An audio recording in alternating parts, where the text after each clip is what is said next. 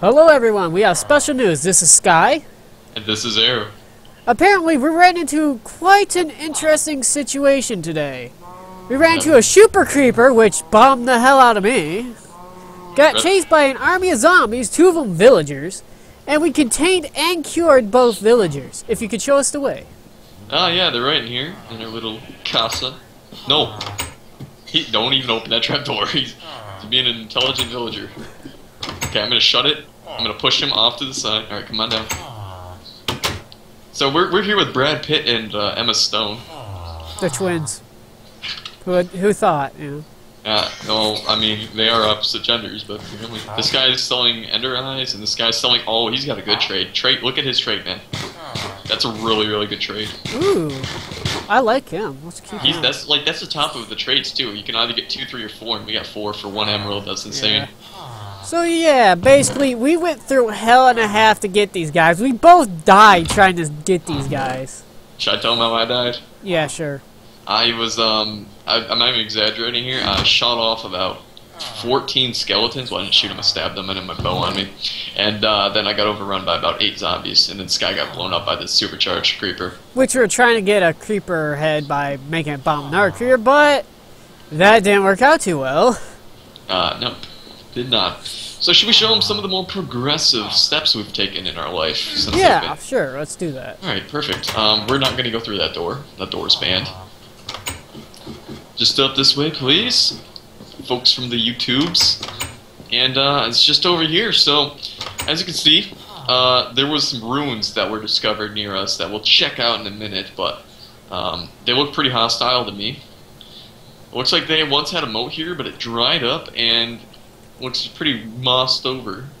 But down here, we're going to go to something more familiar that I showed you guys last episode.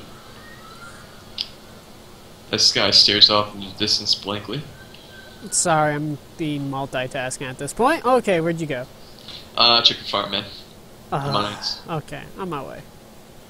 So, we kind of have something a little bit more brutal than last time, and you might ask, what could be more brutal than dropping a bomb at about 600 newborn chickens? Well, we're gonna burn them alive, but it didn't exactly work, but we'll fix it in a little bit, so... Right this way. burning, we need to cook fish. So basically, the basic premise are there's about 60 chickens in here, and there's a hopper underneath them, and then the hopper feeds into this um, morbid room, we'll call it. Uh, I'm no, I'm no. down here, down here. And basically, the way it works is, um, well, first of all, shout out to. I, I just forgot his name, bro. I was gonna shout out to him. You're not good with shoutouts if you cannot remember the people. Yeah, probably good point. Unsubscribe, minus two. No, don't even say that.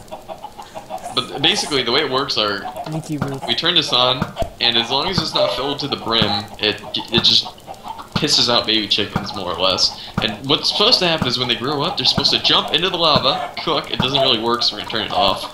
Um, but they're supposed to cook, and every time you hear them squawk, a new chicken's being born, which is so we got like three or four, which is kind of interesting. But basically, once they're born and they quote unquote jump, which doesn't work yet, we'll probably just end up dropping a bucket of lava on them for three seconds. Um, but down this way, Sky. Through this door here, the hides and feathers, which will be automatically cooked through lava, will go into this hopper here and be fed down into this chest. But right now we only have 62 eggs in the chest. But eventually it'll be full of cooked chicken, cooked chicken and feathers, rather. So that's the first new thing. Should we take him to the skeleton farm and show him the second new thing? Sure.